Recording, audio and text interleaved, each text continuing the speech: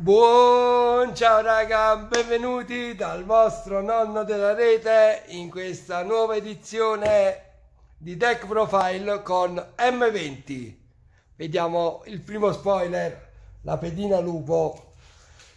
Come sempre, prima di iniziare, se volete supportare il canale, like, iscrivetevi al canale, campanellina, commentate, richiedete il vostro deck, il vostro video, quello che volete e ci mettiamo all'opera.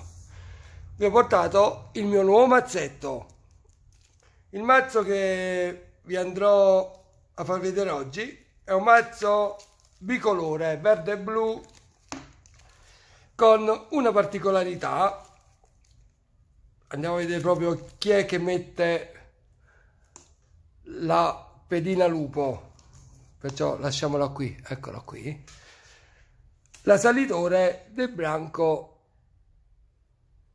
notturno 4 mana 4 4 a lampo e questa abilità la troveremo al sì, 90% delle nostre creature 95 gli altri lupi e mannari che, che controlli prendono più uno più uno. E in più all'inizio della nostra sottofase finale. Se non abbiamo giocato magie mettiamo una pedina 2-2 lupo. È una cosa molto facile dato che, come vi ho detto, giochiamo soprattutto durante il turno dell'avversario. Se non per casi speciali, giocheremo tutto durante il turno del nostro opponent. Allora, andiamo in ordine di mana. La prima che vi faccio vedere è il marinaio spettrale, sempre di M20, umana 1-1, pirata spirito, a lampo, vola e in più un 4 mana ci fa pescare una carta. L'unica creatura senza lampo è la sirena, che è umana 1-1 che vola, la doma tempeste, la si può sacrificare con mana blu eh, neutralizziamo una magia che bersaglia me o una creatura che controlliamo.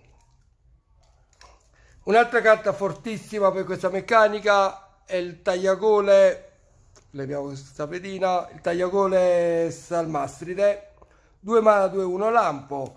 Quando giochi, lanciamo una magia durante il turno dell'avversario, gli mettiamo un segnalino più uno più uno e lei diventa veramente grossa. 3 tritone insidiose.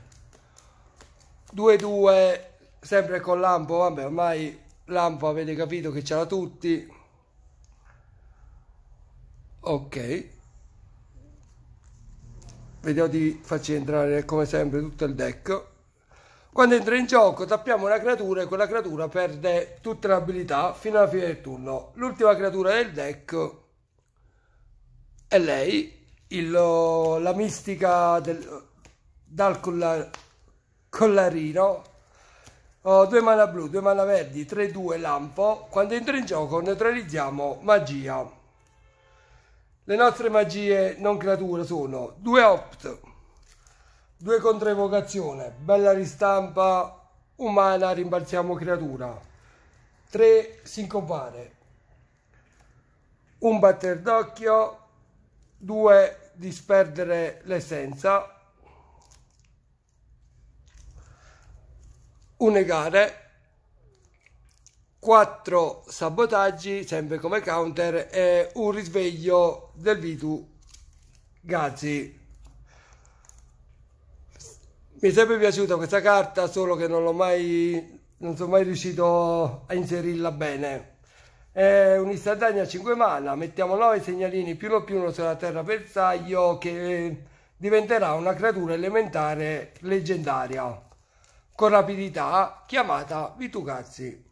Come terre abbiamo tre tempi, i cancelli pensatela come Checkland, quella che entra in gioco stappata con isole e foresta, quattro pozze, sette isole e 6 foreste.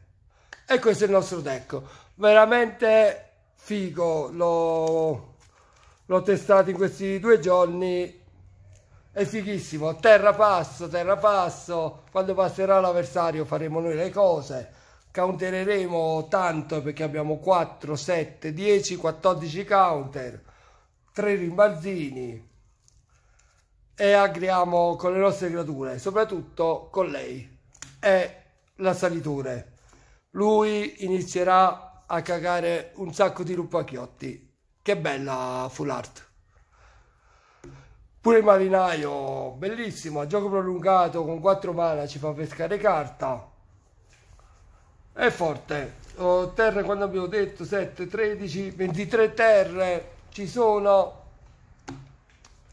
E niente, raga, fatemi sapere cosa ne pensate. Eh, dal vostro assalitore Blanco Notturno è tutto. Ci vediamo al prossimo video.